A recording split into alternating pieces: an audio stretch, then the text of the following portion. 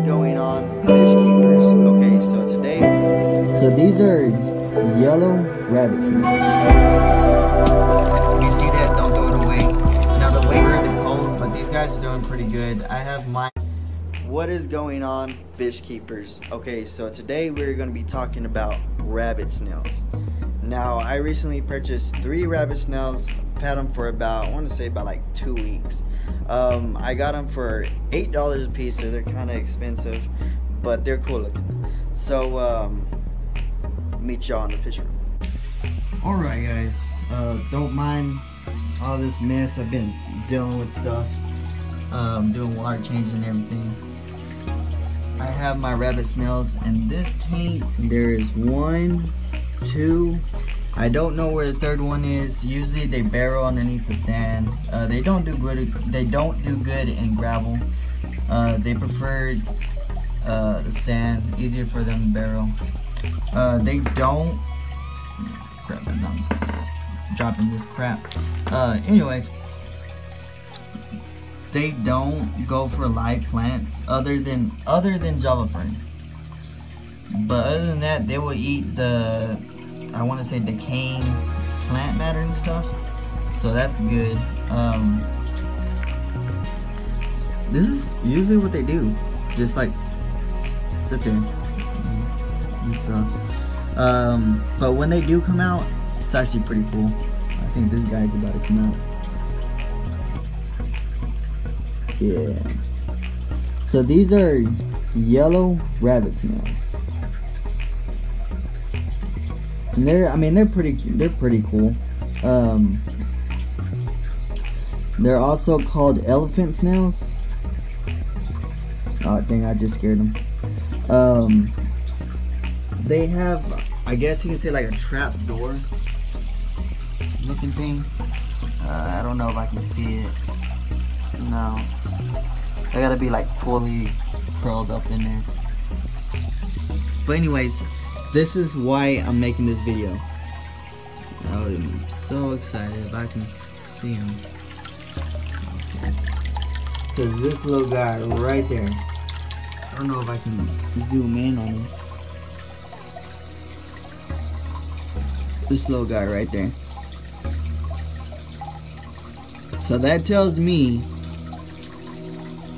that I have a male and a female in there. Which is pretty cool. So I'll be keeping these and I won't be selling them. But look at this little guy. And I was so stoked. I was like, I saw an egg, but I, I didn't know what it was from. And then I did some research and I was like, oh crap. So um, their eggs are clear and they're kind of huge in a way. So if you see, if you have these rabbit snails, sorry the video cut off. But anyways, if you have these rabbit snails and you see like clear, they like it's like a looks like a sack, but there's only one rabbit snail per sack. So if you see that, don't throw it away. Now the way they breed is they're real slow breeders. Um, they lay eggs, I believe, once a month or twice a month, something like that. So they're real slow, so they won't overpopulate your tank, which is one reason why I got these guys. But I mean, that's pretty much all they do. So, okay, so I have my rabbit snails. Usually they I heard they prefer the cold, but these guys are doing pretty good. I have mine about I want to say about like 65 degrees in here. Um, 68 around there. The highest it gets is about like 72. And uh, they're doing good so far. Uh, they prefer, I want to say pH about 8, and that's usually what I have right now. Um, but like I said, they, they do prefer the sand, so that way they can burrow and stuff. That's why I can't find this other guy. He's probably in between all this Java moss and stuff. I guess you can have them with guppies. They haven't picked at them or anything. Like I said, they haven't picked at this little guy over there. Um, I did have a pufferfish. I had to get him out because, you know, that that would not be a good combination. So,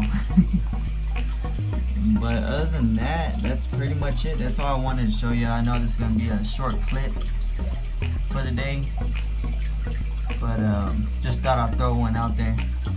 And if y'all haven't subscribed or anything but down below, go ahead and do that. It helped me a lot. And um, I hope y'all um, if y'all enjoyed the video, don't forget to subscribe down below. And like always, stay fresh. It is